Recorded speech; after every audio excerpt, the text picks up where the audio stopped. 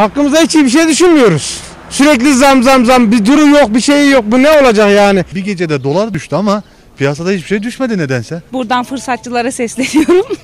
Lütfen fiyatları düşürün. Ben enflasyonun bundan daha da yüksek olduğuna inanıyorum.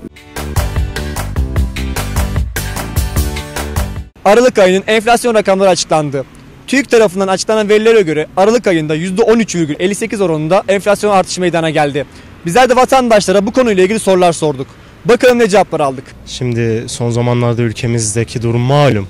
Hani halkımız burası Kayseri mesela hani İç Anadolu'nun bağrında bir memleket. İnsanların durumu malum asgari ücretle geçiniyoruz hepimiz. Ailemiz emekli, benim babam emekli mesela. Hani bu kadar yüksek enflasyon tabii toplumumuzda büyük bir sıkıntı yaratıyor. Vallahi hiç memnun değiliz. Bir e, şey verdiler, zam verdiler. Onun e, kat katını zam, daha giyeceklerde giyeceği her şeyde zam yani. Bu memnuniyet değil hiçbir zaman. Hiçbir halkımız da memnun değil, biz de değiliz.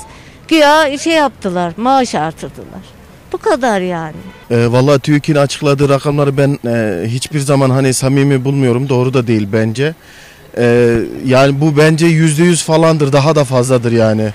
E, nedeni de e, e, günlük yaşantımızda her vardığımız yerde alışveriş yaptığımızda yani her şeyin her gün arttığını görüyoruz zaten. Hani gene de bu rakamlar şeydir çok düşüktür. Ben inandırıcı bulmuyorum. Peki sizler rakamlara inanmadığını söylediniz. Neden böyle bir şey yapılıyor olabilir? Ee, şöyle hani bir bence insanlar üzerinde bir e, algı oluşturulmaya çalışılıyor ve bu şekilde e, hani sadece siyasi kaygılarla hareket ediliyor ediliyor diye düşünüyorum. Ee, yani inanmıyorum ben sonuçlara. Sadece siyasi kaygılarla hareket ediliyor. Doğrular da söylenmiyor. Eğer doğrular mesela söylenmiş olsa e, bu sefer belki insanlar hani e, şey kendileri oy kaybedecek hükümet falan. Hani bunlar düşünülüyor bence. Enflasyon rakamında bence bir oynama var yani bu işler böyle olmuyor. Hatta e, enflasyondan ziyade bir gecede dolar düştü ama piyasada hiçbir şey düşmedi nedense. Yani ben dolar çıkarken mazot fiyatı çıkarken dolar düştüğünde düşmedi yine çıktı. Nasıl oluyor bu iş? Bunlara yani e, bizim aklımız ermiyor. Bunlara çare bulmak lazım. Ben daha yüksek olduğunu düşünüyorum öncelikle. Çarşıda gezerseniz ne demek istediğimi anlarsınız.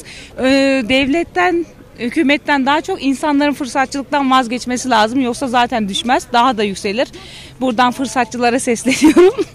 Lütfen fiyatları düşürün. Ben enflasyonun bundan daha da yüksek olduğuna inanıyorum. Yani %70, %80'ler civarında olduğuna inanıyorum. Bu rakamlar yanıltıcı. Yani işte dediğim gibi doğalgaz, elektrik %25 arttı. Gıda arttı.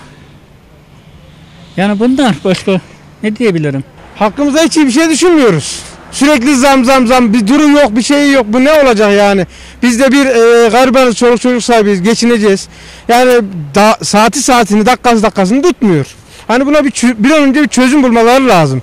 Bir, bir e, önce Tayyip Erdoğan'dan yani yardım istiyoruz. Yani bu buna bir dur demesi lazım.